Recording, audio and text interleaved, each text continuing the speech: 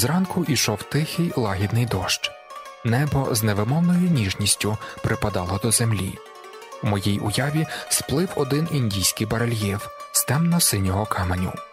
Чоловік обвив руками жінку і єднається з нею так ніжно і водночас нестримно, що здається, хоч їхні тіла вже майже зовсім роз'їв і стер час, ніби ти бачиш двох комах, які злилися воєдино, а дрібний дощ намочив їхні крила і тепер цих комах, міцно притиснутих одна до одної, тихо й жадібно поглинає земля. Я сидів у халабуді і дивився, як тьмавіє світ, і як виблискує попелясто зелене море. Скільки видно берега від краю до краю, ні людини, ні вітрила, ні птаха. У відчинене віконце повіває лише духом землі. Я підвівся і простяг руку під дощ, немов же брак і раптом мені захотілося плакати. Якась туга, не за самого себе, якась глибша й темніша, ніж моя власна, заповзла з мокрої землі у моє тіло. Мене пройняв жах, жах, який охоплює тварину, що пасеться мирно, і раптом не знати чому відчуває, що вона оточена, і немає їй рятунку. Я вже ладен був закричати, бо знав, що це полегшить мою душу, але посоромився а небо опускалося дедалі нижче. Я виглянув у віконце. Хмари вкрили верхів'я гори з шахтою, і в них потонуло обличчя жінки, що лежала горілиць.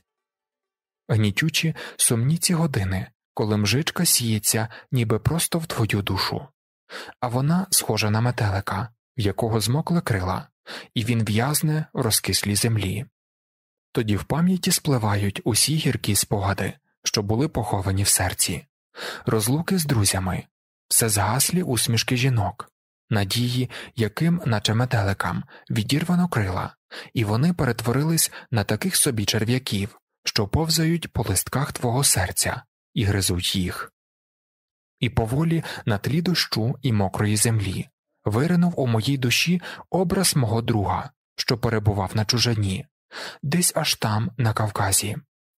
Я взяв ручку, схилився над папером і почав із другом розмову, аби порвати сітку дощу і розвіяти тугу. Дорогий мій, пишу тобі з пустельного берега кріту, де я із згоди долі маю пробути кілька місяців і погратися, погратися в капіталіста, власника вугільної шахти, ділову людину. Якщо мені поталанить у цій грі, я зможу сказати, що то була не гра, а важливе рішення, яке змінило моє життя. Пригадай, коли ти від'їжджав, то з пересердя назвав мене чорнильною душею. Я теж тоді розсердився і вирішив на певний час, а може, й назавжди, облишити папір і зайнятися ділом. Я придбав гору із покладами бурого вугілля, найняв робітників, купив кайла, лопати, ацетиленові лампи, кошики, тачки, пробив штольні і тепер угризаюся вгору. Ось так, тобі на зло. Із чорнильної душі я перетворився, риючись у підземеллі на духа землі. Сподіваюсь, ти схвалиш цю переміну. Ти часто, кепкуючи наді мною, називав себе моїм учнем. І тепер я скористаюся з цього, добре знаючи, що є обов'язком справжнього вчителя, і яка нагорода для нього найвища навчитися від свого учня всього, чого тільки можна, і відчувати, куди прагне молодість, аби й свою душу спрямувати туди ж. Ось так, скориставшись науки, що її дав мені ти, мій учень, я й опинився на кріті. Ніде нема вищих утіх, як тут, бо вони дуже прості і складаються з вічних начал свіже повітря, море, пшеничний хліб, а вечорами незрівнянний синдбад мореплавець, який сідає переді мною по турецькому і починає розповідати, і тоді мені відкривається світ. Часом, коли йому бракує слів, він зривається на ноги і пускається в танок, а часом, коли й танок не допомагає, то кладе собі на коліна сандур і починає грати. Іноді мелодія буйно весела, і ти аж задихаєшся, бо раптом розумієш, що доля твоя зла і життя твоє безглузде негідне людини, а іноді мелодія печальна, і ти відчуваєш, як життя твоє минає, тече, мов пісок між пальцями, і нема тобі рятунку. Душа моя б'ється в грудях, меготить, мов човник у кроснах, і тче, тче ці короткі місяці, які я пробуду на кріті, і нехай мене Бог простить, але мені здається, що я щасливий. Конфуцій казав одні прагнуть щастя вищого за людину, інші нижчого, але щастя саме на зріст людини. І це правда.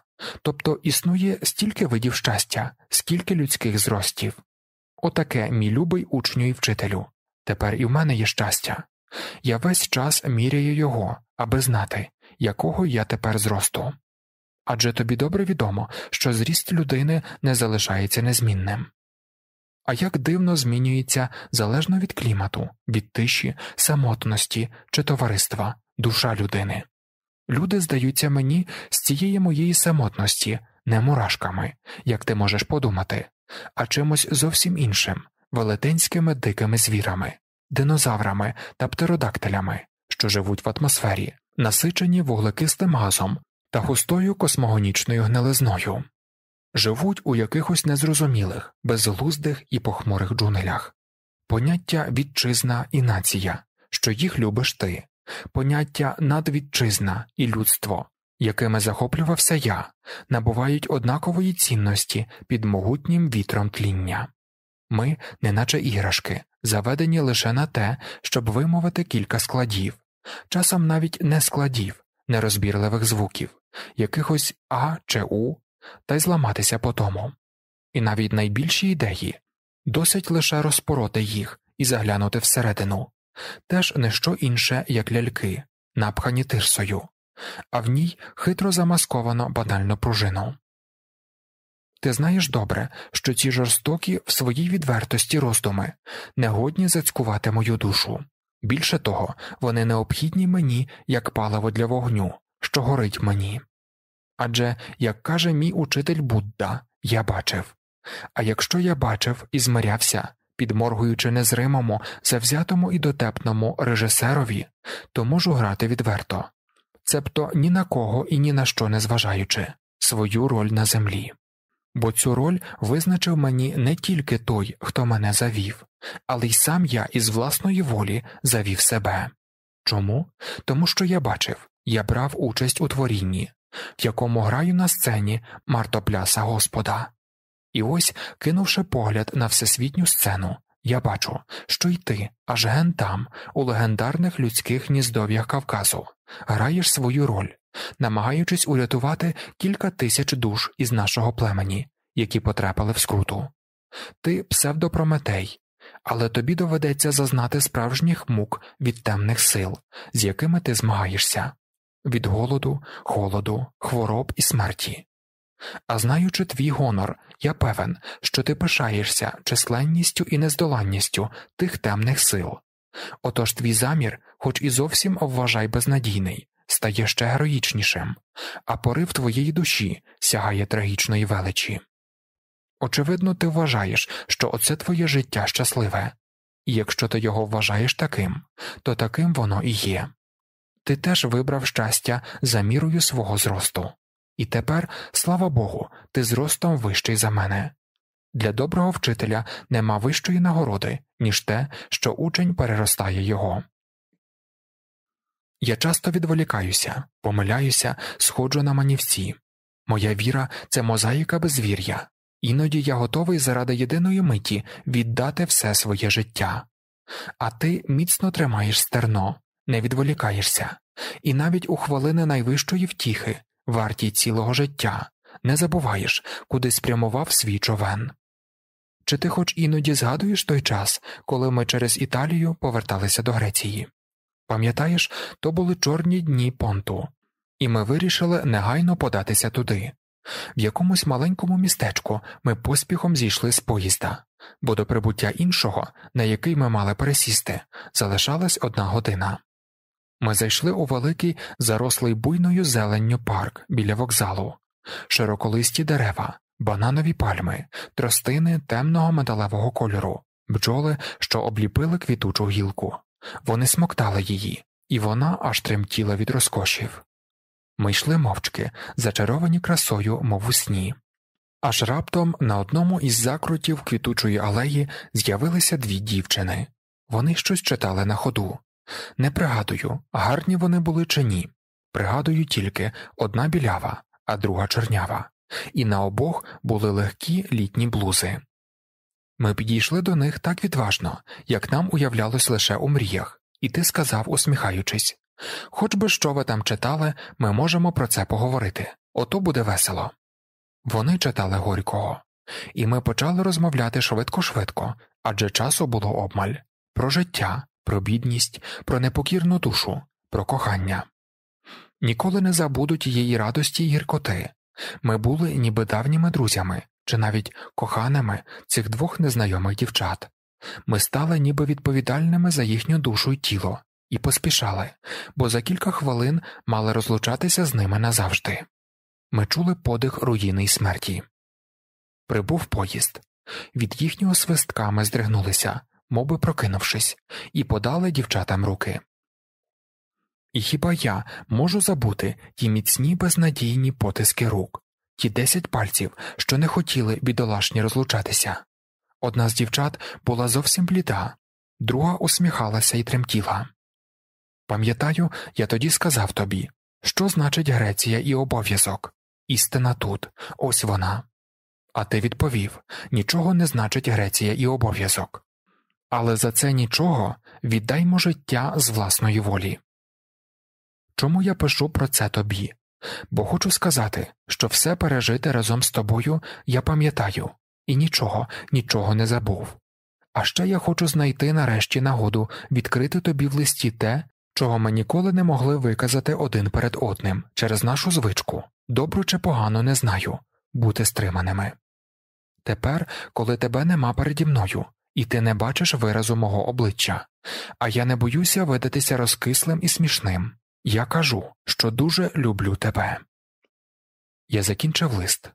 Розмова з другом дала мені розраду. Тепер можна було гукнути Зорбаса. Скулившись під скелею, аби не мокнути на дощі, він ворожив над моделлю канатної дороги. Гей, Зорбасе, крикнув я, ходімо в село, трохи розімнемося. У тебе добрий настрій, хазяїне, але ж дощ. Може б ти сам пішов? Настрій у мене добрий, і я не хотів би його втратити. А коли ми разом, це мені не загрожує. Ходімо. Він засміявся. Приємно чути, що я тобі потрібен. Ходімо. Він одягнув вовняну кріцьку накидку з гостроверхим каптуром, яку я йому подарував, і ми вийшли на дорогу, грузнучи у розкислій землі. А дощ не вгавав, вітру не було, на вершинах гір лежали хмари, мокре каміння полискувало, гора з шахтою ледве мріла у млі, справжній людський смуток повивав жіночий профіль гори, що мов би, знепритомніла під дощем. Людське серце вразливе сказав Зорбас, і не треба з ним сперечатися, коли йде дощ.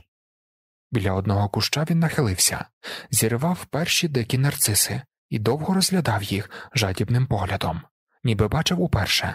Потім понюхав, мружачись від задоволення, зітхнув і подав мені. Коли б то знати, хазяїне, мовив він, про що говорять камені, квіти, дощ. Може, вони кличуть, нас кличуть, а ми не чуємо. Так само, як ото й ми звертаємось до них, а вони нас не чують. Коли відкриються людські вуха, хазяїне, коли відкриються наші очі, коли вони стануть видющими, коли розкриються наші обійми, щоб усі ми, і камені, і квіти, і дощ, і люди обнялися. Що ти скажеш на це, шановний? Що скажуть про це катіпи? Пішли б вони під три чорти, відповів я улюбленою фразою Зорбаса. Пішли б вони під три чорти, більше ні на що вони не годяться. Зорбас схопив мене за руку. Я тобі щось скажу, хазяїне, тільки ти не серця на мене. Поскидайте ті свої катіпи на купу і підпали. Може, тоді, а ти не дурний, ти добра людина. Може, тоді і ти дещо зрозумієш. Твоя правда, твоя правда, майнуло у мене в голові. Але ж я не можу. Зорбас зупинився в задумі і невдовзі сказав Бачиш, мені дещо прояснилося. Що саме розкажи? Ех, якби я ж був того певен. Мені це так здалося, що й прояснилося. Та коли б почав був розповідати, то воно б розвіялося. Хай іншим разом, як матиму настрій, я тобі розповім у танці. Дощ припустив дужче. Ми війшли в село. Маленькі дівчатка гнали з паші овець, орачі порозпрягали волів, залишивши недоорані ниви. По вулицях жінки заганяли дітей додому. Радісне сум'яття принесла в село ця раптова зміна погоди. Жінки сердито кричали, проте очі їхні сміялися. На загострених бородах і обвислих вусах чоловіків тремтіли великі краплі, повітря пахло землею, камінням і травою. Промоклі до рубця ми вбігли у кав'ярню, м'ясну лавку цнота. Людей там було повно. Одні грали в карти, інші розмовляли так голосно, ніби перегукувалися з двох сусідніх гірських вершин. У глибині, за столиком на дощаному підвищенні, засіла сільська старшина. Дядько Анагностис у білій сорочці з широкими рукавами. Маврандоніс мовчазний, поважний, він курив наргіле, втупившись у підлогу. Учитель, сухий, середній літ чоловік. Спершись на дебелого костора, він з поблажливою посмішкою слухав зарослого здоровання, що це саме повернувся з Кастро і розповідав про дива великого міста. Хазяїн кав'ярні, налігши на шенквас, теж слухав і сміявся, але наглядав і за джезвами, поставленими на жар. Дядько Анагностес, побачивши нас, підвівся і гукнув Ходіть сюди, земляки. Сфакіано Ніколіс розповідає нам, що бачив і чув у Кастро. Така потіха, ходіть, послухайте. І, обернувшись до хазяїна, замовив Дві ракії, манолакісе. Ми посідали. Дивокуватий чабан, побачивши чужих людей, знітився і замовк. То ти, виходить, і в театрі був, капітана Ніколісе? запитав учитель у чабана, щоб підбадьорити його. І як же воно тобі там сподобалося? Сфакіано Ніколіс простяг своє здоровенне ручисько, вхопив кухоль з вином і випив його одним духом. Вино додало йому відваги. Та як же це я не був в театрі? вигукнув він. Ясно, що був. Я ж ото чую, все котополі та котополі. Ну, ото якось увечері перехрестився, та й кажу собі таки ж тягне мене туди. От і богу, тягне піти і подивитися на неї. Що ж то воно за проява? Що це за ім'я таке? Котопулі? І що ж ти там побачив, Ніколісе? запитав дядько Анагностис. Що ти побачив? А нічого не побачив. Хай йому чорт, нічого. Отож наслухався театр, театр. Дай, думаю, піду подивлюся, розважуся. Та плакали мої грошенята. Така тобі кругла кав'ярня, наче тік, повно стільців, люстер і людей. Голова в мене пішла обертом, очах потемніло, нічого не бачу. Ну його к бісу, кажу собі, ще зурочать мене тут. Краще забратися геть. Аж раптом якась вертихвістка хапає мене за руку. Куди ти мене тягнеш? питаю. А вона тягне мене й тягне. Потім обернулася і каже Сідай. Я сів. Попереду й позаду, і по праву руку, і по ліву, скрізь люди. Ну, думаю, попався. Тут же й задихнутися можна. Дихати нічим. Обертаюсь я до сусіда. Звідки ж воно, кумцю, виходитимуть примадонни? питаю. А от звідти, зсередини, відповідає той і показує на якусь завісу. Ну, то я теж прикипів очима до тієї завіси. Коли це й справді, теленькає дзвінок, відкривається завіса і виходить оте саме котополі. Тільки ж, от бог свідок, не брешу. Не було там ніякого кота. Звичайна жінка. Жінка, та й годі. Почала вона вибрикувати задом, аж поки людям набридло. Вони заплескали в долоні, і вона втекла. Селяни вибухнули реготом. Сфак'яно Ніколіс засоромився, розсердився і відвернувся до дверей. А дощ іде, сказав він, щоб перемінити тему. Усі обернулись до дверей, і саме в ту мить, ніби диявол підстроїв, пробігає мимо кав'ярні жінка. Спідниця в неї задерлася вище колін, волосся розсипалося по плечах, одяг обліпив її всю і окреслив міцне, гнучке, туге, мов тріпотлива рябина тіло. Я підхопився. Що це за бестія? Вона нагадувала кровожерну тигрицю. Жінка обернулася, кинула блискавичний погляд у кав'ярню, її розпашіле обличчя проясніло, очі заблищали. Пресвята Богородице, прошепотів юнак з пушком на підборідді. Він сидів біля самого вікна.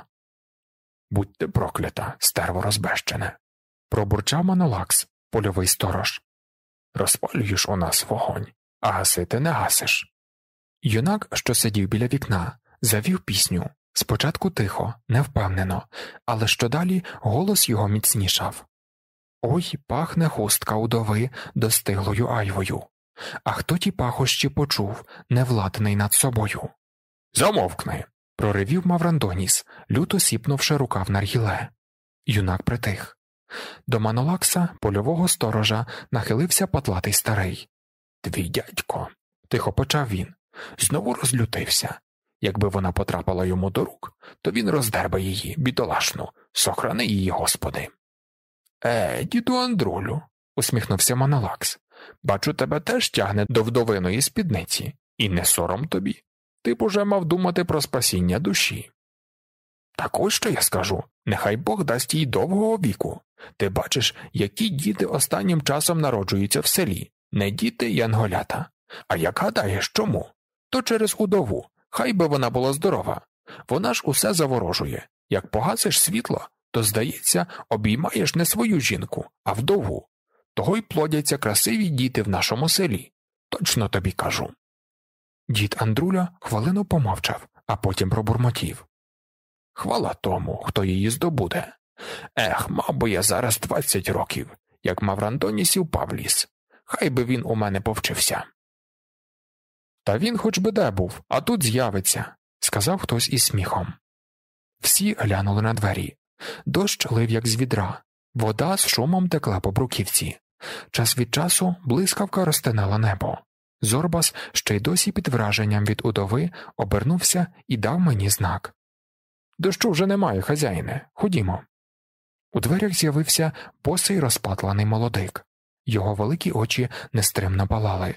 Таким малюють на іконах святого Іоанна Хрестителя, з розширеними від голоду і молитов очима. Доброго здоров'я, мімітосе. загукали звідусіль, сміючись. Кожне село має свого дурника, а якщо немає, то творить його собі на втіху. Мімітос саме й був сільським дурником. Люди. вигукнув він тремтливим жіночим голосом. Люди, до вас Урмаліна загубила своїх овець. Хто їх знайде, тому п'ять ок вона у віддяку. Геть звідси вишкрипку. Знову почувся голос Маврандоніса. Геть. Наляканий Мімітос зіщулився в кутку біля дверей. Сідай сюди, Мімітосе, випий рак і зігрійся. Пожалів його дід Анагностис. Що ж би наше село робило без дурника? В цей час у дверях з'явився юнак. Обличчя в нього було бліде, щоки усіяні пушком, аж сині, бляклі. Дихав він важко, по волоссю, що поприлипало до лоба, збігала вода. Здоров, Павлісе. вигукнув Манолакс. Здоров, брате, ходи до нашої компанії. Маврандоніс обернувся, глянув на сина і насупився. І оце мій син, подумав він, оцей недоносок. І в кого тільки він удався взяти б його за шкірку та гепнути об землю, щоб і дух випустив. Зорбас сидів як на голках, вдова розпалила його уяву, і тепер йому було тісно в чотирьох стінах. Ходімо, хазяїне, ходімо. Раз по раз підганяв він мене. Тут можна задихнутися. Йому вже здавалося, що хмари розійшлись і виглянуло сонце. Не витримавши, Зорбас запитав у хазяїна кав'ярні якомога байдужіше Хто ця вдова? Кобила, відповів той. Він приклав пальця до губів, показав очима на Маврандоніса, який знову втупився в підлогу, і додав Кобила, краще не говорити про неї, не брати гріха на душу. Маврандоніс підвівся, склав наргіле і сказав Даруйте мені, я маю йти додому. Ходи сюди, Павлісе, нам пора. Він почекав сина, ступив до дверей, і вони обидва загубились у струменях дощу. Тоді підвівся і Манолакс і пішов услід за ними. Кондоманолюс, хазяїн кав'ярні, одразу всівся на стілець Маврандоніса. Бідний Маврандоніс, помре від розпачу, сказав він тихо, аби не почули за сусідніми столами. У нього в домі велика біда. Учора я чув на власні вуха, як Павліс йому сказав якщо не одружуся з нею, то накладу на себе руки. А та безсоромниця не хоче Павліса, ще й називає його шмаркачем. Ходімо, хазяїне, знову заскиглив Зорбас, бо що більше він чув про вдову, то дужче розпалювався. Подекуди заспівали півні, дощ трохи стих. Ходімо, погодився я і підвівся. Мімітос підхопився зі свого кутка і крадькома подався за нами. Каміння блищало, двері, мокрі від дощу, почорніли. Бабусі, взявши кошики, повиходили збирати слимаків.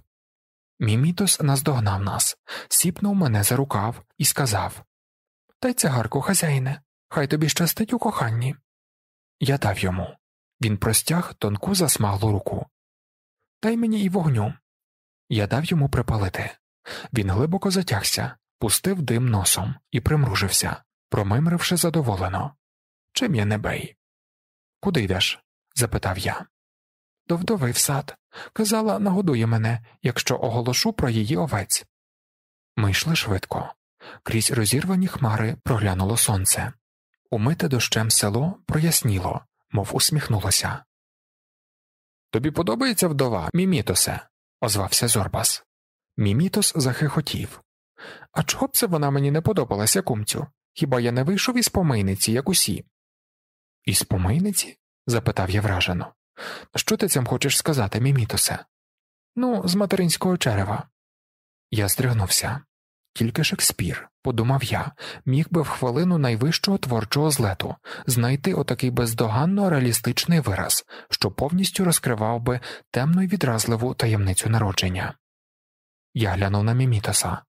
Очі його були великі, верлуваті і трохи косили. Чим ти займаєшся, Мімітосе? Чим займаюся? Живу, як бей, піднімаюся вранці, з'їдаю шматок хліба, потім починається чорна робота, яка де попадеться. Ходжу з дорученнями, ношу лайно, збираю кінські кізяки, а ще маю вудку і ловлю рибу. Живу моєї тітки, у пані Леню, плакальниці. Мабуть, ви її знаєте, її всі знають, її навіть фотографували. А як смеркне, повертаюся додому, з'їдаю миску юшки та й винця вип'ю, коли є, а коли нема, то й чисту водичку. Нап'юся волю. Живіт мене тоді стає, як бубон, а потім на добраніч. А ти не думаєш одружитися, мімітосе? Одружитися? Що я з глузду з'їхав? Про що ти кажеш, хлопче? Почепити ярмо на шию? Жінці давай черевики, а де я їх візьму? Ось бачиш, сам ходжу босий. Що й чобіт не маєш? Як ото не маю? Того року помер тут один. Так тітка Леньо зняла з нього.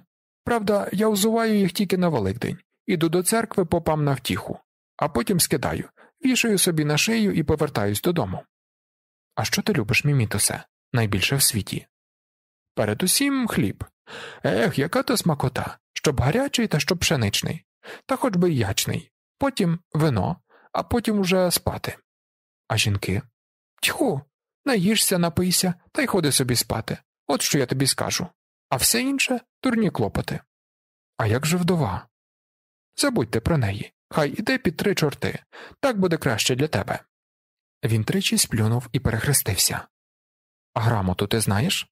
Таке, коли я був ще малий, відвели мене силою до школи, та невдовзі захворів я на тиф і став недоумкуватим, отак і врятувався. Тим часом Зорбасові наша розмова набридла, його думка крутилася навколо вдови. Хазяїне, озвався він, узяв мене під руку і звелів мімітосові. Ти йди собі вже, ми тут маємо про дещо поговорити. Притишивши голос, Зорбас схвильовано сказав Ну, хазяїне, отут ти мені попався, не підведи чоловічої статі. Чи Бог, чи диявол послав тобі цей шматочок? Дарма, зуби ти маєш, тож і не випусти його. Лише простягни руку і бери. Навіщо творець приробив нам руки? Щоб ми могли хапати? Тож хапай. Я бачив на своєму віку багато жінок, але перед цією вдовою будь вона проклята, і фортеця не встоїть. Не хочу клопотів, сердито відповів я. Я справді розсердився, бо в глибині душі теж прагнув того налитого нездоланною звабою тіла, що промчало переді мною, лишивши в повітрі пахощі мускусу, справжньо тобі розпалена жагою самиця під час тічки. Не хочеш клопотів? вражено скрикнув Зорбас. Але чого ж ти хочеш, хазяїне? Я не відповів. Життя це клопіт, не вгавав Зорбас, а смерть ні. Чи знаєш ти, що значить бути живим? Попустити пояс і кидатись у бійку. Я мовчав. Зорбас мав слушність, це я знав, але я не міг наважитись. Життя моє зійшло на манівці, і я звів свої зв'язки з людьми до внутрішнього монологу. Я докотився до того, що коли б мені випадало вибирати між коханням до жінки та гарною книжкою про кохання, я вибрав би книжку. Не вагайся, хазяїне, співав своєї Зорбас. Відкинь цифри, потрощи свої підлі ваги, закрий лавку.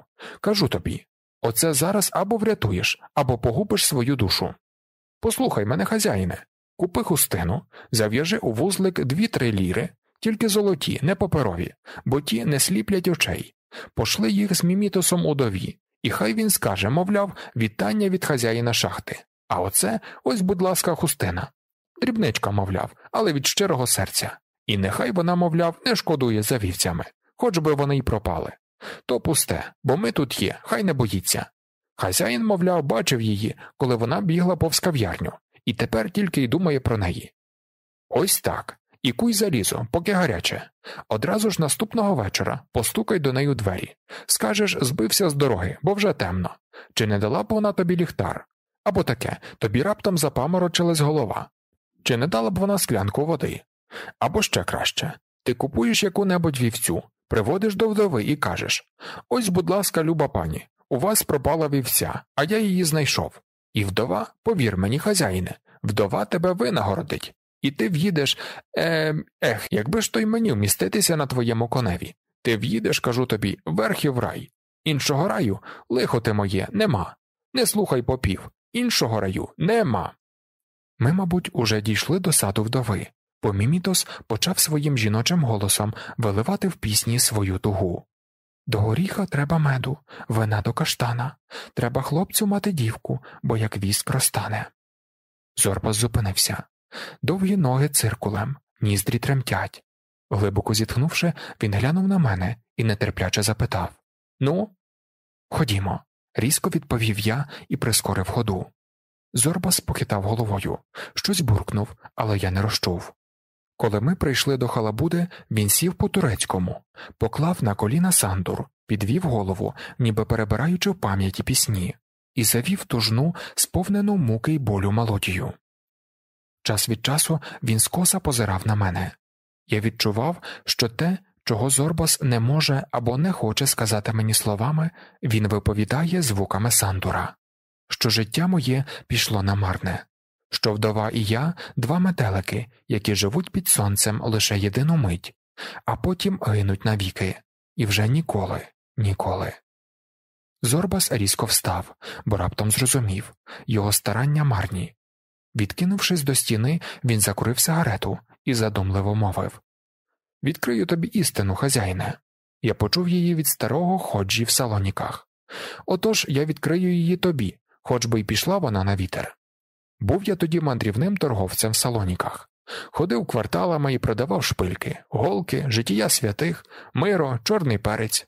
Голос мав, як у соловейка, а треба тобі знати жінки падки на голос. Та й на що тільки вони шльондри не падкі? Чорт їх знає, що там робиться в їхньому нутрі.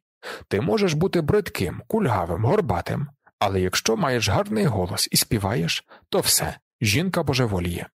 Отож був я мандрівним торговцем і ходив по турецьких кварталах, і, мабуть, якась багата туркеня клюнула на мій голос, утратила розум. Покликала вона одного старого ходжу, насипала йому жменю золотих. Аман, каже йому, поклич того Гяура, мандрівного торговця, нехай прийде, Аман. Хочу його бачити. Не можу більше терпіти. Ходжа знайшов мене. Гей, грече, гукає, ходімо зі мною. Не піду, кажу йому, куди ти мене тягнеш. Слухай, грече, одна ханум, чиста, як джерельна вода, чекає тебе у себе вдома. Ходімо. Але я знав, що ночами в турецьких кварталах убивали християн. Ні, не піду, відповідаю. Побійся Бога, Геуре. А чого б це мені його боятися? А тому, грече, що хто може з'єднатися з жінкою і не єднається, той чинить великий гріх. Якщо тебе кличе жінка в своє ліжко, а ти не йдеш, пропала твоя душа, та жінка зітхне в день страшного суду, і те зітхання штовхне тебе в пекло, хоч би хто ти був, і хоч би які добрі справи робив. Тут Зорбас зітхнув і додав Якщо існує пекло, будьте мені в пеклі, і саме через це. Не тому, що крав і убивав, перелюбствував, Ні, ні, то все ніщо. Господь таке прощає. Але я потраплю в пекло, бо тієї ночі одна жінка чекала мене в своєму ліжку, а я не прийшов. Зорбас підвівся, розпалив вогонь і взявся куховарити. Скоса, глянувши на мене, він зневажливо посміхнувся і пробурмотів Ех, дурне діло, стукати до глухого в двері. І, нахилившись до мокрих дрів, почав люто роздмухувати вогонь.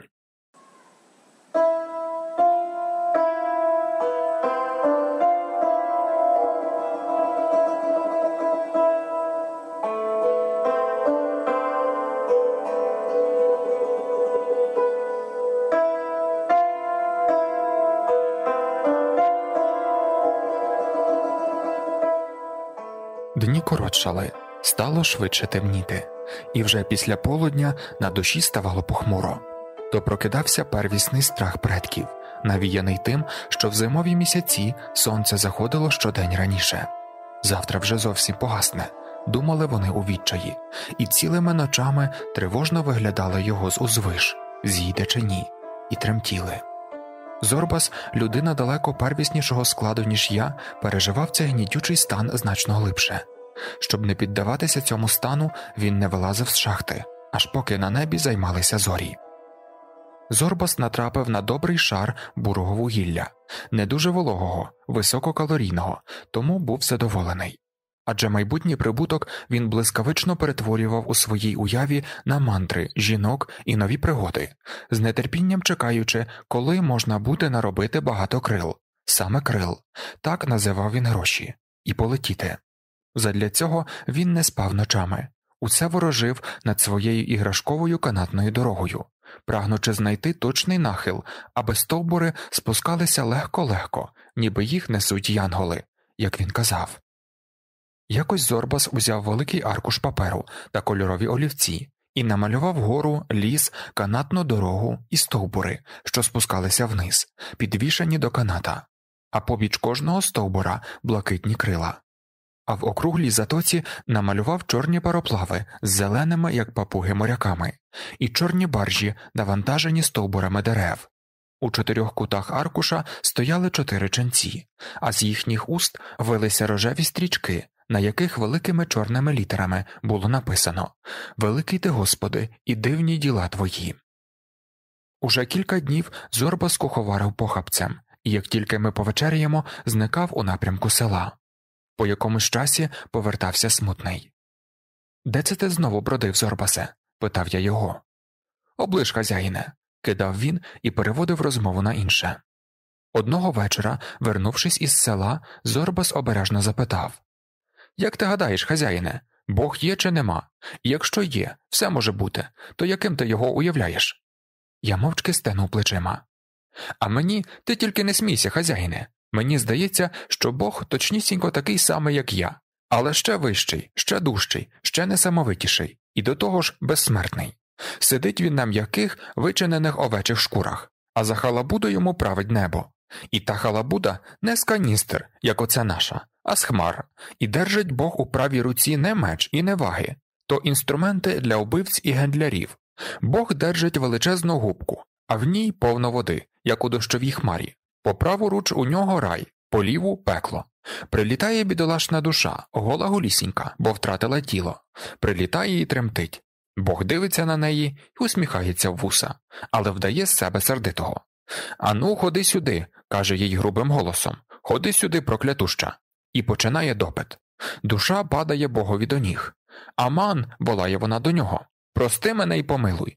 І враз починає розповідати про свої гріхи. Розповідає і розповідає, і нема їм кінця. Ну, годі вже, гримає на неї Бог, ти мені вуха протурчала. А тоді раз одним помахом губки стирає з неї всі гріхи.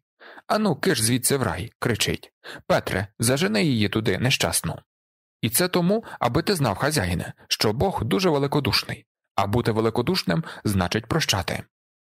Пам'ятаю, того вечора, коли Зорбас усе це городив мені, я сміявся, Однак відтоді ота Божа великодушність пустила в мені коріння і зав'язала плід чуйна, щедра, всемогутня.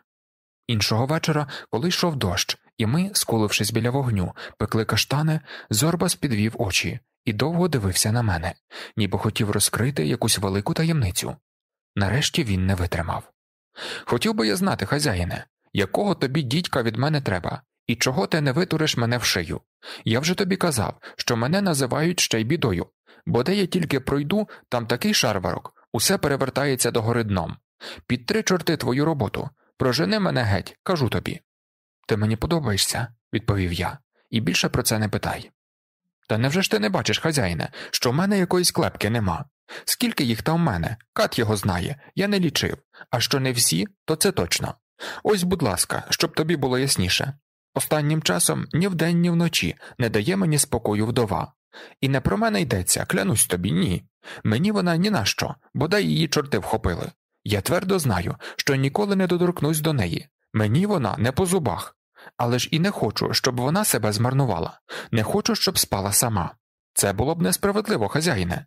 Цього моє серце не витримує. От і никаю цілу ніч навколо її обістя, тому й пропадаю. Тому ти й питаєш, де я теніюсь. А що мені там треба? Та просто хочу побачити. Може ж, хтось прийде до неї, от тоді б я заспокоївся. Я розсміявся. Не смійся, хазяїне, коли якась жінка спить сама, то всі ми, чоловіки, винні, всі ми відповідатимемо перед Богом у день страшного суду, а Бог прощає всі гріхи, однак цього не прощає. Горе тому чоловікові, хазяїне, який міг би спати з жінкою і не спав.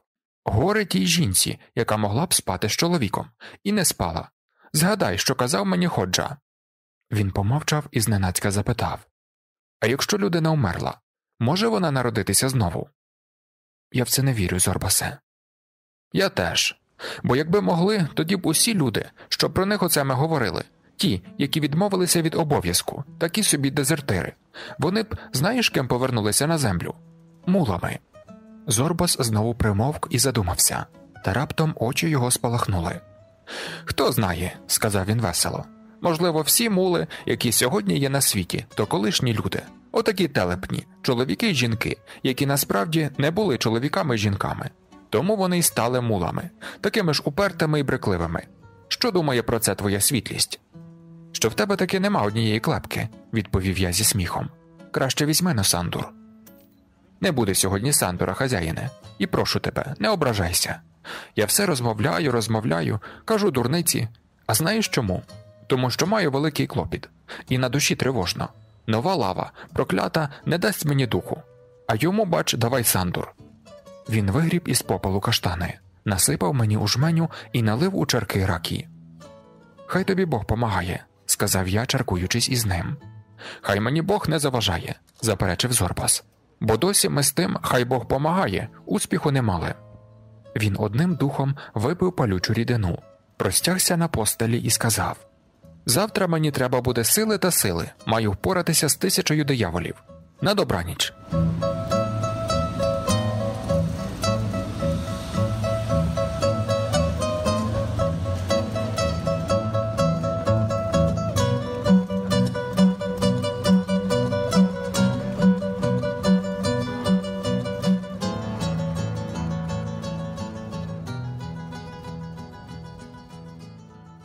Наступного дня Зорбас рано вранці пірнув у шахту.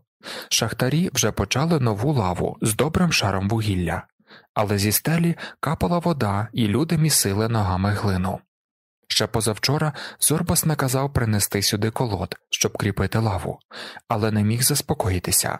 Колоди були тонші, ніж треба, і Зорбас своїм непомильним інстинктом, який примушував його відчувати безпосередньо, наче власне тіло, увесь цей підземний лабіринт визначив, що дерев'яні підпори ненадійні, і вже уловлював слухом ще легесеньке, нечутне для інших потріскування, то стогнало під тягарем кріплення стелі. І ще одна річ тривожила сьогодні Зорбаса. Саме в ту хвилину коли він збирався спускатися до лави, звідкись вигулькнув верхи на коні сільський піп Стефанос, прямуючи до сусіднього жіночого монастиря, причастити вмираючу черницю. На щастя, Зорбас, як тільки побачив його, устиг тричі плюнути собі в пазуху, перш ніж піп заговорив. «Добрий день, отче. крізь зуби відповів Зорбас на попове привітання. Перечекавши, коли піп від'їде, він додав притишеним голосом Згинь, сатано. Проте Зорбас відчував, що самим цим закляттям не відвернути лиха, тож поспішав до нової лави роздратований. Там стояв важкий дух вугілля і ацетилену. Робітники ще позавчора почали кріпити лаву, підпираючи стелю колотами. Зорбас сухо привітався і, засукавши рукава, похмуро взявся до роботи. Чоловік з десять робітників кайлами довбали вугілля, і воно сипалося їм під ноги. Інші накидали його лопатами в невеликі тачки і вивозили на поверхню. Раптом Зорбас завмер, давши знак зупинитися й робітникам, і прислухався як вершник зростається з конем чи капітан з кораблем, так само зрісся з шахтою Зорбас. Він відчував усе плетиво її ходів, ніби вона була його власним тілом, і те, чого ще не чула в собі темна маса гори, Зорбас уже вловлював і по людському ясно усвідомлював. Ось тепер він нашорошив свої вушиська, прислухаючись, і саме в цю мить нагодився я, немов би мав якесь лихе перечуття, і немов би мене підштовхувала чиясь рука. Прокинувшись, я враз підхопився, одягнувся і вилетів з халабуди, не знаючи, чому й куди, але ноги самі понесли мене до шахти.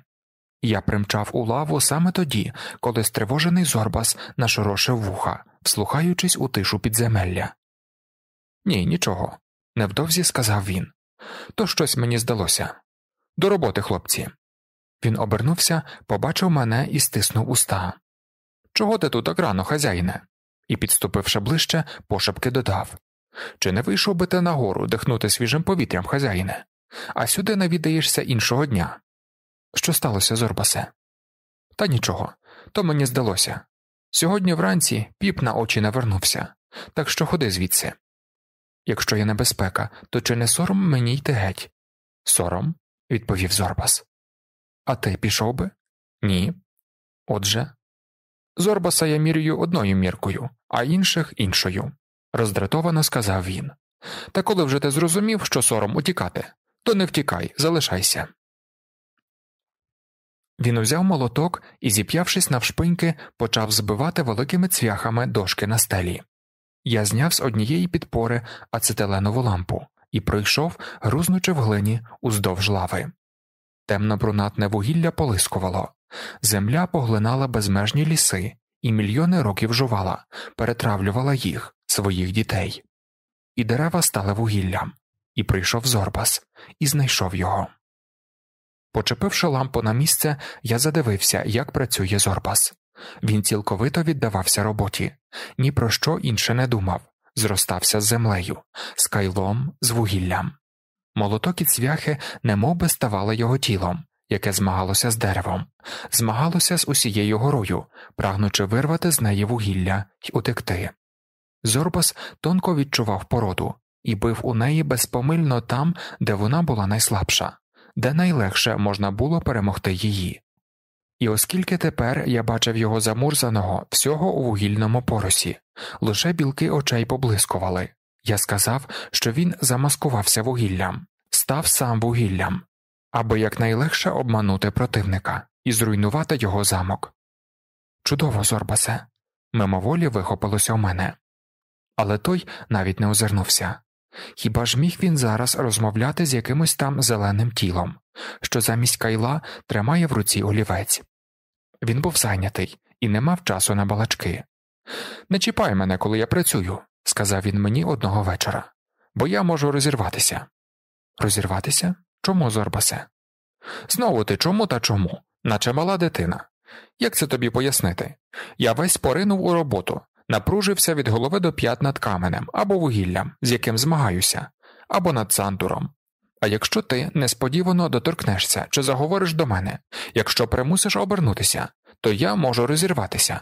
Як ти цього не розумієш? Я глянув на годинник було близько десятої. Час уже перекусити, хлопці, сказав я. Година минула.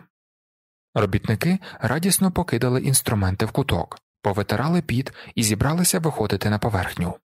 Зорбас, поринувши в роботу, навіть не чув, що я сказав, та якби й чув, то все одно не залишив би роботи. Зачекайте, звернувся я до робітників. Ось я пригощу вас сигаретами. і почав обмацувати кишені, шукаючи сигарети. Робітники обступили мене. Раптом Зорбас завмер, припавши вухом до стіни. При світлі ацетилену я побачив, як його вуста болісно перекосились. Що з тобою, Зорбасе? скрикнув я. Та в цю мить уся стеля над нами здригнулася. Тікайте. хрипко вигукнув Зорбас. Тікайте. Тікайте. Ми ринулися до виходу, та не встигли добігти до крайніх підпор, як над нами затріщало вдруге, ще дужче. Тим часом Зорбас підвів велику колоду, щоб підсилити кріплення там, де воно тріснуло. Якщо він устигне, то стеля протримається ще кілька секунд, і ми встигнемо вибігти. Тікайте. Почувся тепер уже глухо, мов із надр землі зорбасів голос. І всі ми легкодухно, як це часто буває в критичні хвилини, помчали нагору, не думаючи про зорбаса. Але через кілька секунд я оговтався і повернув назад. Зорбасе. заволав я. Зорбасе. Мені здавалося, що я кричу, але тут таки я зрозумів, що звук не виривався з мого горла. Від страху мені відняло голос. І тоді мені стало соромно. Я ступив ще крок, витягнувши руки вперед. Зорбас у цю мить уже підставив грубу колоду під стелю, відскочив у бік і щосили кинувся бігти. У напівтемряві з розгону він налетів просто на мене. Мимоволі ми обійнялися. Вперед. прохрипів здушеним голосом Зорбас. Вперед. Ми побігли і швидко вихопилися на світло. Робітники, стовпившись біля входу, прислухалися бліді і мовчазні. Пролунав третій, ще дужчий тріск, немов зламався навпіл стовбур могутнього дерева, а потім розлігся протяжний рев, і гора здригнулася. То завалилася лава. Сохрани, Господи. забурмотіли робітники, хрестячись. А Кайла залишили там? раптом гнівно крикнув Зорбас. Робітники мовчали. Чому ви їх не захопили? знову крикнув він сердито. Оце то молодці, в штани наклали. Пропав інструмент. Та що там тікайла, Зорбасе? втрутився я. Будьмо задоволені з того, що ніхто не постраждав, і дай тобі Боже здоров'я, ми всі завдячуємо тобі життям. Я хочу їсти. рішуче махнув він рукою. Голодний, як вовк. Зорбос узяв вузлик із сніданком, залишений на камені ще рано вранці, розв'язав його, дістав хліб, оливки, цибулю, варену картоплину і пляшку вина. Пригощайтесь, сказав він, напхавши рота. Їв зорба з поспіхом, ніби раптом витратив багато сили і тепер хотів улити в жили свіжої крові їв, низько нахилившись над вузликом, і не промовив жодного слова. Потім узяв пляшку, закинув голову, і вино заклекотало в пересохлому горлі. Робітники теж оговталися, порозв'язували вишиті торби і почали їсти. Всі вони сиділи, схрестивши ноги по турецькому навколо Зорбаса, їли і поглядали на нього. Вони ладні були впасти йому в ноги, цілувати йому руки, але знали, що він дивак, тому жоден не наважувався почати першим. Нарешті найстарший з них Міхеліс із великими сивими вусами насмілився Якби не ти, пане Алексісе, були б наші діти сиротами. Замовкни. буркнув зорба з повним ротом, і вже ніхто не наважувався заговорити. Хто створив цей лабіринт несталості, цей храм пихи, цей глек гріхів, це поле, засіяне сім'ям розбрату, цей вхід до пекла, цей кошіль, повний хитрощів, цю отруту, схожу на мед, цей ланцюг, що зв'язує смертних із світом, жінку. Я писав і переписував цю буддійську пісню, сидячи по турецькому біля розпаленої пічки, мучився, нагромаджуючи закляття на закляття, аби вигнати з пам'яті видіння змоклого під дощем тіла з крутими стегнами, що з'являлося всі ці зимові ночі перед моїм зором, з'являлося знову і знову. Не знаю як, але відразу після обвалу лави, де могло так несподівано обірватися моє життя, вдова озвалася в моїй крові і кликала мене, немов розпалений жагою звір, владно і жалібно водночас. Прийди, прийди, волала вона. Життя це спалах блискавки. Прийди, прийди, бо буде пізно. Я знав, що то був Мара, дух зла, який мав жіноче тіло з крутими стегнами. Я боровся проти нього, сидів і писав Будду, мов ті первісні дикуни, котрі на стінах своїх печер видовбували гострим каменем або малювали фарбами кровожерних звірів, що чатували на них. У такий спосіб дикуни боролися, прагнули прикувати звірів до скелі, аби ті не накидалися на них. Від того дня, коли я мало не загинув, удова нечутно зринала в моїй самотності і вабила мене, легко погойдуючи стегнами. Удень я мав силу, мій розум був пильний, і я міг прогнати видіння. Я описував, у якій подобі являвся Будді спокусник, писав, як він перевдягався жінкою і як припадав до стегон Будди тугими випуклими персами. Але Будда розпізнавав небезпеку, збирав усі свої сили і проганяв спокусника, і разом з Буддою проганяв його і я. Я писав, і з кожною фразою мені ставало легше.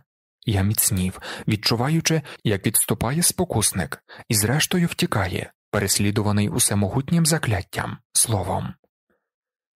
Удень я боровся відважно, як тільки міг, але вночі розум мій утрачав пильність, внутрішні мої брами залишалися безсторожі, і вдова входила в них. Вранці я прокидався виснажений і переможений, а війна починалася знову.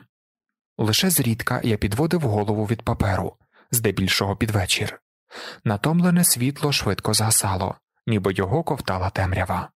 Дні коротшали, наближалося Різдво, і я, спостерігаючи цю одвічну боротьбу в просторі, казав Я не самотній. Світло, ця могутня сила, теж бореться, воно перемагає і зазнає поразок, але не втрачає надії, і я перемагатиму разом з ним. Мені здавалося, і це додавало мені сміливості, що я теж підкоряюсь якомусь великому всемогутньому ритму, борючись проти вдови. У ній, гадав я, втілилась невідома підступна субстанція, щоб легко заволодіти мною і згасити у мені волелюбний пломінь. Я казав та неосягненна сила, яка перетворює матерію на дух, є Бог, і кожна людина має в собі частку цієї божественної круговерті. Саме тому людина здатна змінювати сутність хліба, води і м'яса, перетворюючи їх на думку і дію. І Зорбас має слушність скажи мені, що ти робиш із того, що їси, і я скажу, хто ти. Тепер ось і я намагався перетворювати цю нестримну жагу тіла на Будду. Що це ти задумався? Якийсь ти сумний хазяїне? запитав Зорбас одного вечора, саме напередодні Різдва, зрозумівши, з яким демоном я змагаюся. Я вдав, що не почув, але Зорбас не міг так просто відчепитись. Молодий ти, хазяїне, раптом жовчно мовив він. Молодий ти, здоровий, їси і п'єш у волю, дихаєш чистим повітрям, усе набираєшся сили, а толку з того спиш то ти сам, тільки харчі переводиш.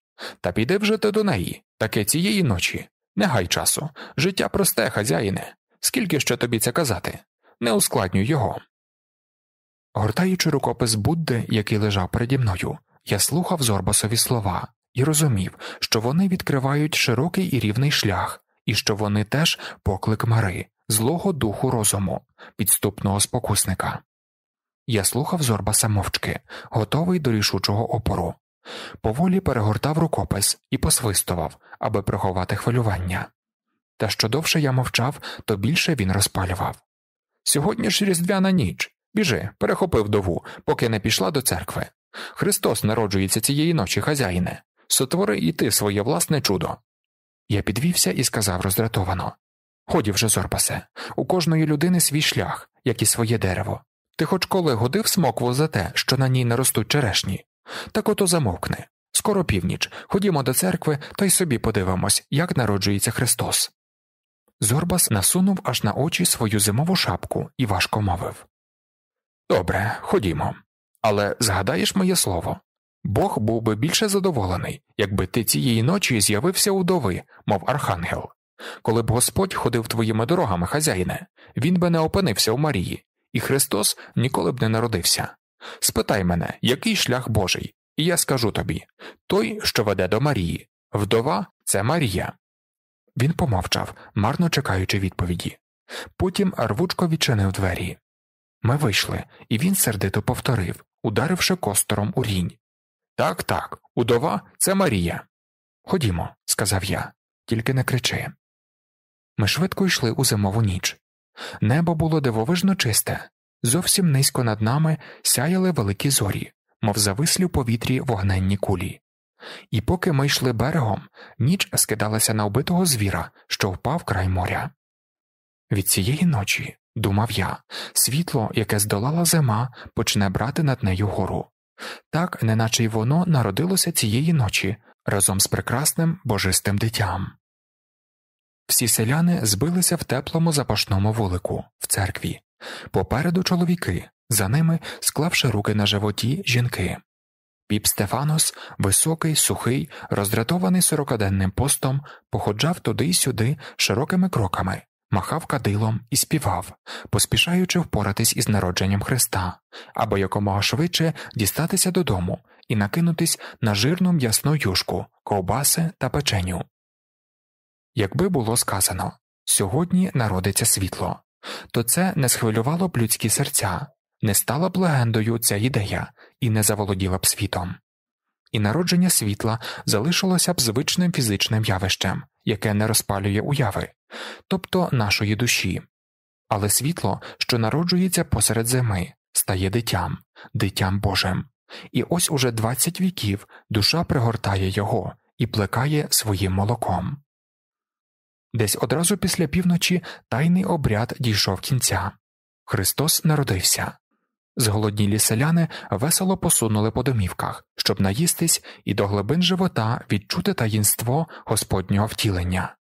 Живіт то міцна підвалина, а хліб, вино і м'ясо першоелементи, без яких не сотвориться Бог. Зірки тепер сяяли великі, наче янголи. Ріка Йордан, чумацький шлях, плинула від одного краю неба аж до іншого. Важка зелена зірка тремтіла над нами, як смарагд. Я зітхнув. Зорбас обернувся. А чи ти, шановний, віриш, що Бог став людиною і народився в стані? Ти віриш чи посміюєшся над людьми? Важко відповісти, Зорбасе. Вірю чи не вірю. А ти? І Богу, я теж заплутався. Що тобі сказати, хазяїне? Коли я був ще малим хлопчиком, і бабуся розповідала мені казочки, я нітрохи не вірив, але тремтів від хвилювання, сміявся і плакав так, наче вірив. Коли ж у мене почала рости борода, всі ті казочки я відкинув і навіть сміявся з них. А ось тепер, на старість, мабуть, з дитиню, бо знову почав вірити. Ні, людина це загадка. Ми попрямували до мадам Ортанс, ішли швидко, мав зголоднілі коні. Але ж і хитрющі ці святі отці, пузо твоє до рук приберуть. Як ти від них відчепишся? Не їж, кажуть, б'яса сорок днів, постись. А для чого? Та для того, щоб ти зголоднів на м'ясо. Отже й пройди світи, яких тільки штучок не знають. Він прискорив ходу. Швидше переставляй свої маслаки, хазяїне, індичка вже, мабуть, готова.